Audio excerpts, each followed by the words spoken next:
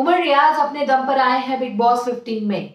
Fans ने दिया है ये बड़ा सबूत और उन लोगों का मुँह बंद किया है जो लोग ने ये कहा है कि आसिम रियाज की वजह से उमर रियाज इस सीज़न में आए हैं।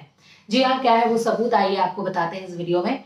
नमस्कार, मैं हूँ ज्योति पाठक और आप देख रहे हैं फीफा फोर्स आपको बताना चाहूँगी कि घर के अंदर ले लीजिए या बाहर ले लीजिए, हर कोई ये कहता हुआ नज़र आए कि जो उमर रियाज है, वो आसिफ रियाज के भाई है, इसीलिए वो घर के अंदर आए, इसीलिए उन्हें ये मौका मिला है, ये बात कही गई। फिर उसके बाद ये भी कहा गया उनको कि वो आसिम रियाज की तरह खेलने की कोशिश कर रहे हैं, उनकी तरह बनने की कोशिश कर रहे हैं और खुद का उनका कुछ नहीं है आसिम रियाज की तरह है।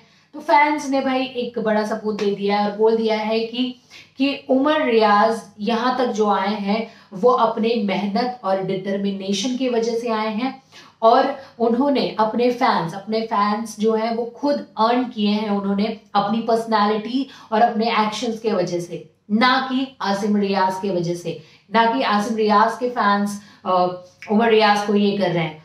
नहीं उन्होंने खुद अपने फैंस अर्न किए हैं, क्योंकि उन, वो, उनकी पर्सनालिटी इतनी अच्छी है। तो ये बात चल रही है उस पर। एक एक बात कही है किसी ने कि जो गौहर खान, जब गौहर खान ने बिग बॉस सीज़न सेवेंथ जीता था तो उनकी जो सिस्टर है, निगार खान, वो बिग बॉस सीज़न एट में आई थी, जो कि दो हफ्तों में ही वो निकल गई। और उमर की अगर बात की जाए तो उमर हमेशा जो है, वो फैक्ट्स पर बात करता है घर के अंदर। फैक्ट्स पर बात करता है। तो ये एक बड़ा प्रूफ दे दिया है कि वो भी तो गौहर खान की बहन थी, लेकिन वो दो हफ्तों से ज़्यादा नहीं टिक पाए घर पर। लेकिन अगर बात की जाए उमर रियाज की तो वो फिनाले तक पहुँच रहे, पहुँच गए हैं लगभग, और शायद आगे भी बढ़ेंगे। ये फैंस का साफ़ साफ़ बड़ा प्रूफ है।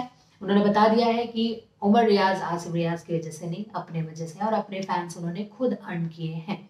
आप सभी का क्या कुछ रिएक्शन है, इस पर हमें ज़रूर बताइएगा कमेंट सेक्शन में कमेंट करके और देखते रहिए फीफा फूज इसी तरीके की अपडेट्स के लिए।